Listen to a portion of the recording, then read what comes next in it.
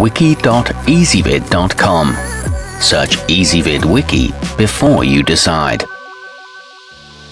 Ezvid presents the 8 best Wii U controllers. Let's get started with the list. Starting off our list at number 8. Anyone using the system for its entertaining fit exercise programs will need the Nintendo Balance Board.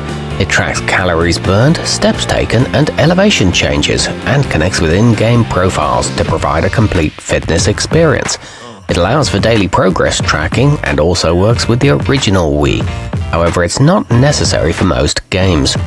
At number 7, with the analog stick and action buttons reversed compared to the OEM model, the Hori Battle Pad offers a more familiar arrangement to many players that's similar to the original GameCube handset. It's one of the tightest and most durable aftermarket options around. It features short stroke shoulder buttons and three turbo settings, but it's not for pro controller titles.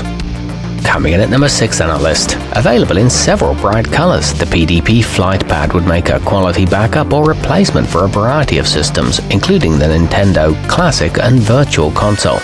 Its components aren't quite on the level of the OEM hardware, but they're almost there. It's made in the GameCube configuration and costs very little. However, it offers no wireless connectivity.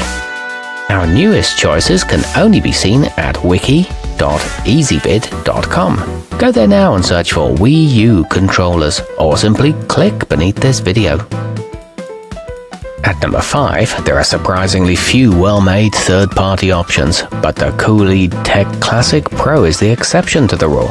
At only about $20, it's a great alternative for those who don't want to drop a fortune on Nintendo's relatively overpriced model. It offers the standard button layout and is good for Super Smash Bros., but the action feels a bit mushy. Halfway up our list at number 4. Closely tied to the console's success, the official gamepad features a built-in touchscreen and gives players control of the most advanced gameplay aspects. In addition to its slew of buttons, it has an integrated mic and speakers, as well as a rechargeable battery. It comes with a stylus and an internal motion sensor. However, it's not particularly ergonomic. Nearing the top of our list at number 3, the Nintendo Pro Controller is one of the few that's fully compatible with some of the console's most entertaining games.